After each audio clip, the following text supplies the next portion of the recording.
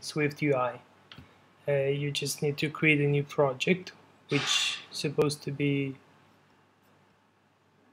sorry uh, which supposed to be single view app. And after you create it you got a file like this. And you only need to comment out this section with body.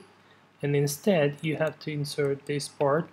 I will provide the link below. Just the first comment and then you need to create a struct which you should call web view in case you use the same name here and a content view.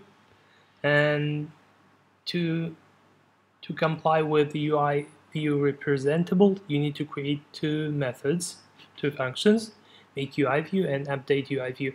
Uh, the thing is when you change your screen orientation it, it will reload uh, this web view so if you don't need this uh, behavior you need to change it uh, just a little.